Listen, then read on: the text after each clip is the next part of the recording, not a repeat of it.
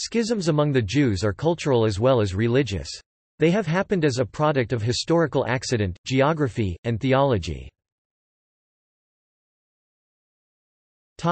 First Temple era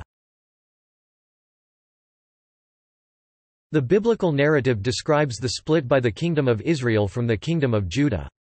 It points to Solomon's unfaithfulness to the divine covenant as the reason for the schism. When Rehoboam, Solomon's son, became king, the people requested tax reform. Rehoboam refused. This caused the break. At first, Rehoboam considered a military solution but the prophet Shemaiah told him not to fight because God had caused the schism. Jeroboam, the leader of the tax revolt, became the leader of the Kingdom of Israel.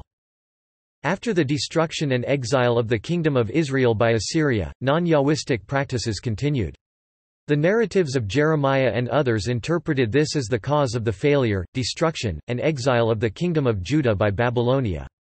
Nebuchadnezzar had additional reasons for taking over Judah and turning its inhabitants into exiles, including challenging its great rival Egypt. Samaritans The Samaritans are an ethnoreligious group of the Levant originating from the Israelites or Hebrews of the ancient Near East. Ancestrally, Samaritans claim descent from the tribe of Ephraim and tribe of Manasseh two sons of Joseph as well as from the Levites, who have links to ancient Samaria from the period of their entry into Canaan, while some Orthodox Jews suggest that it was from the beginning of the Babylonian captivity up to the Samaritan polity under the rule of Baba Rabba. According to Samaritan tradition, the split between them and the Judean-led southern Israelites began during the biblical time of the priest Eli when the southern Israelites split off from the central Israelite tradition. As they perceive it, they consider themselves to be Bnei Yisrael, children of Israel, a term used universally by Jewish denominations for the Jewish people as a whole, but do not call themselves Yehudim. The word Yehudim comes from the Hebrew word Yehudi which means from the tribe of Judah. Second Temple period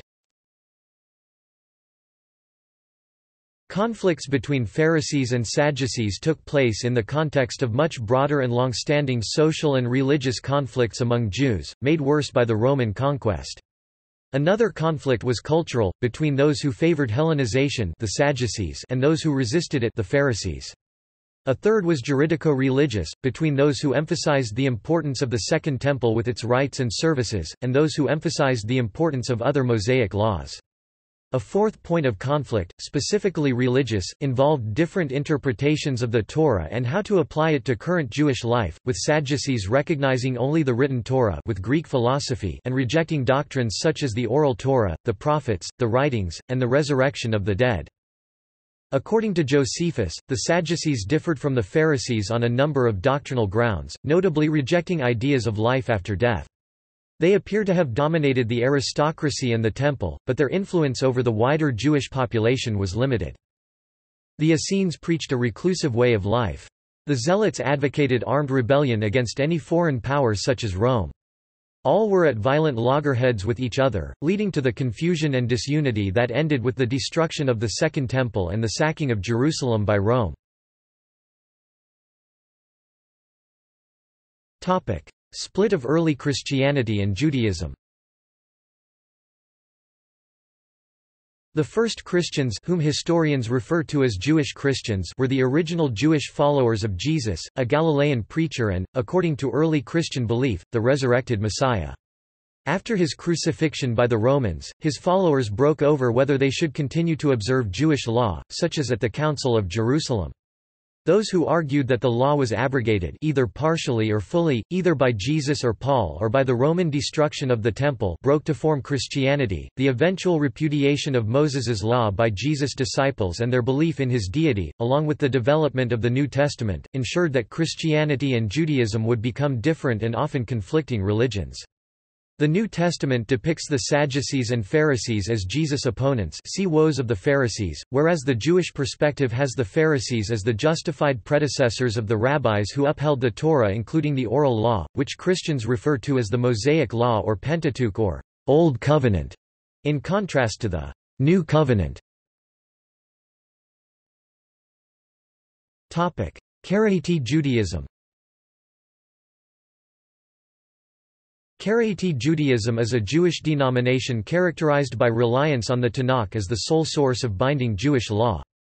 Karaites rejected the rabbinic tenet that an oral Torah oral law was transmitted to Moses at Mount Sinai along with the written scriptures. Accordingly, they rejected the central works of Rabbinic Judaism which claimed to expound and interpret this written law, including the Midrash and the Talmud, as authoritative on questions of Jewish law. Karaites had a wide following between the 9th and 12th centuries they claim that at one time they numbered perhaps 10% of Jewry, but over the centuries their numbers have dwindled drastically. Today they are a small group, living mostly in Israel. Estimates of the number of Israeli Karaites range from as low as 10,000 to as high as 50,000. There is a divergence of views about the historical origins of Karaite Judaism. Most scholars and some Karaites maintain that it was founded at least in part by Anan ben David, whereas other Karaites believe that they are not the historical disciples of Anan ben David at all, and point out that many of their later sages such as Yaakov al-Kirkasani argued that most of Anan's teachings were derived from rabbinite lore. The State of Israel, along with its chief rabbinate, ruled that Karaites are Jews, and while critical differences between Orthodox Judaism and Karaite Judaism exist, American Orthodox rabbis ruled that Karaism is much closer to Orthodoxy than the conservative and reform movements, which may ease issues of formal conversion. Sabbatians and Frankists In 1648 Shabtai Tzvi declared himself to be the long-awaited Jewish Messiah whilst living in the Ottoman Empire.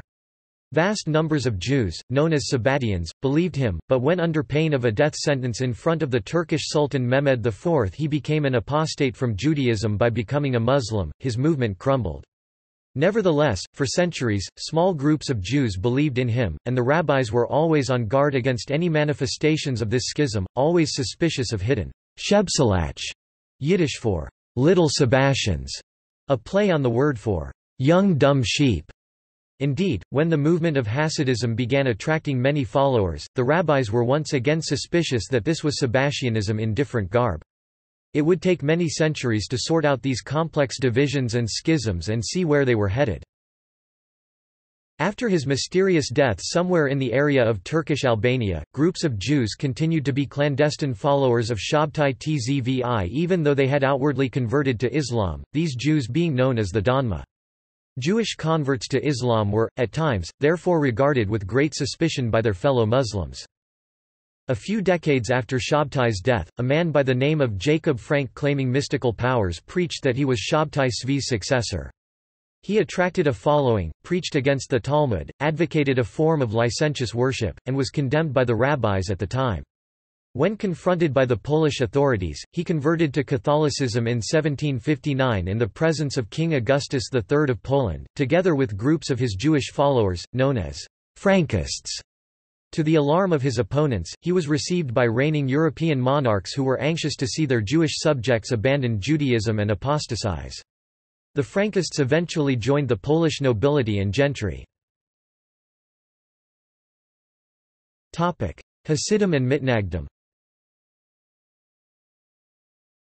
The arrival of Israel ben Eliezer (1698–1760), known as the Baal Shem Tov (Master of the Good Name), on the scene of Jewish history in Eastern Europe would herald the commencement of a sea change in what is known today as Haredi Judaism. Even though he did not write books, he succeeded in gaining powerful disciples to his teachings that were based on the earlier expositions of Rabbi Isaac Luria (1534–1572), who had based much of his Kabbalistic teachings on the Zohar. The Baal Shem Tov came at a time when the Jewish masses of Eastern Europe were reeling in bewilderment and disappointment engendered by the two notorious Jewish false messiahs Sabbatai Zevi (1626–1676) and Jacob Frank (1726–1791) in particular. The Baal Shem Tov witnessed Frank's public apostasy in Hebrew to Christianity, which compounded Zevi's earlier apostasy to Islam. The Baal Shem Tov was thus determined to encourage his influential disciples Talmidim to launch a spiritual revolution in Jewish life in order to reinvigorate the Jewish masses' connections with Torah Judaism and to vigorously motivate them to bind themselves to the joyous observance of the commandments, worship, Torah study, and sincere belief in God, so that the lures of Christianity and Islam, and the appeal of the rising secular enlightenment, to the Jewish masses would be weakened and halted. To a large degree Israel succeeded in Eastern Europe. Already during his lifetime, and gaining momentum following his death, the Baal Shem Tov's disciples spread out to teach his mystical creeds all over Eastern Europe. Thus was born Hasidic Judaism Hasidism.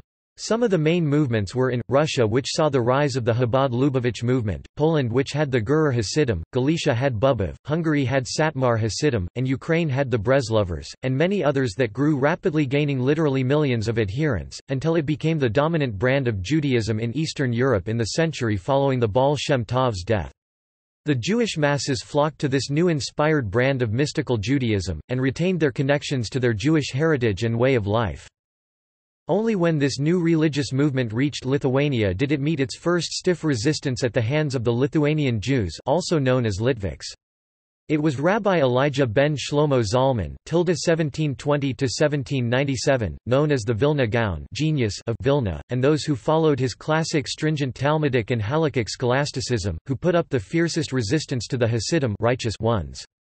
They were called mitnagdim, meaning those who are opposed to the Hasidim.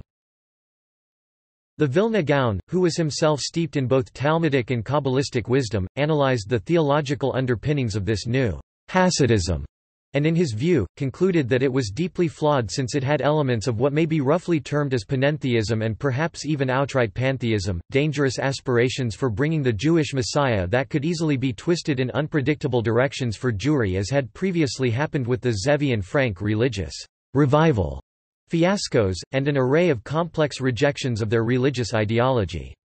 The Vilna Gaon's views were later formulated by his chief disciple Rabbi Chaim Volozhin (1741–1821) in his work Nefesh HaChaim.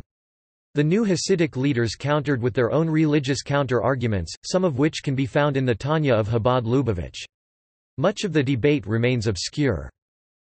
However, regardless of the unpopularity of the move, the Vilna Gaon and the scholars of the Beth Din Jewish religious court of Vilna went so far as to place at least one severe cherem upon the Hasidim, officially excommunicating them from Judaism, which they in turn copied and did likewise to the Mitnagdim.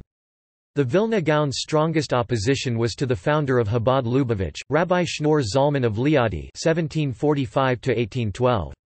Physical fights broke out in Vilna with each side trying to gain the favor of the Russian authorities and declaring the other side to be beyond the pale of Judaism. The bitterness and animosity between the two camps ran deep, and basically whoever joined one wing, did not attend or pray in the same synagogues as the other wing, nor have the same Torah teachers, and they would generally not marry into each other's families, which is still more or less the rule today where there is a high degree of internal communal structure. Little of the split between Hasidim and Mitnagdim remains within the modern Haredi world. When confronted by mutual threats, such as from the secular Jews of the Haskalah, or by the onslaught of communism and the Holocaust, or faced by secular Zionists, Hasidim and Mitnagdim do work together. When the outside world does not threaten them, their battle of ideas resumes as an intellectual debate. Each group has its own unique method of yeshiva study and communal life, no matter where they establish themselves. They tend to live in different neighborhoods that are still within commuting distance, although even these differences are quickly disappearing. In modern-day Israel Hasidim support the Agudat Israel Party in the Knesset Israel's parliament and the non-Hasidic Mitnagdim support the Degel HaTorah Party, led by Rabbi Aharon Yehuda Leib Steinman in Bnei Brak. Agudat Israel and Degel Torah have formed a political alliance. There is also another large community that follows the rabbinical teachings of the Edda Charedes. These include the Satmar Hasidim and the Perushim communities which do not support any groups that participate in the Israeli government or state activities, including elections. Orthodox versus Reform and Conservative, East versus West From the time of the French Revolution of 1789, and the growth of liberalism, added to the political and personal freedoms granted by Napoleon to the Jews of Europe, many Jews chose to abandon the foreboding and isolating ghettos and enter into general society. This influenced the internal conflicts about religion, culture, and politics of the Jews to this day. Some Jews in Western Europe, and many Jews in America, joined the religiously liberal New Reform Judaism movement, which drew inspiration from the writings of modernist thinkers like Moses Mendelssohn. They coined the name, Orthodox, to describe those who opposed the Reform they were criticized by the Orthodox Judaism rabbis, such as Samson Raphael Hirsch in Germany, and condemned, particularly by those known today as followers of Haredi Judaism, based mainly in Eastern Europe. Later on, in 1880s America, conservative Judaism split from the Reform movement. Thus a cultural schism was also created between the more westernized English, German and French-speaking Western European Jews and their more religiously observant Yiddish-speaking Eastern European brethren whom they denigratingly labeled Ost-Yidden. Eastern Jews. These schisms and the debates surrounding them, continue with much ferocity in all Jewish communities today as the Reform and Orthodox movements continue to confront each other over a wide range of religious, social, political and ethnic issues. Today, the largest Jewish communities are in Israel and in the United States, and the geographical separation has resulted in cultural differences, such as a tendency to identify as Hiloni and Haredi in Israel, as opposed to, say, Reform and Orthodox in the United States. See also. Culture of Israel. Jewish heretics. Jewish science Jews in apostasy Religion in Israel Secular Jewish culture Split of early Christianity and Judaism Topic. References Topic. External links History of Jewish denominations What's the difference between Orthodox, Conservative and Reform? Jewish identity. Numbers chapters 16 to 18 The Schism of Korah excerpt from the Tanakh The Holy Scriptures Philadelphia Jerusalem Jewish Publication Society 1985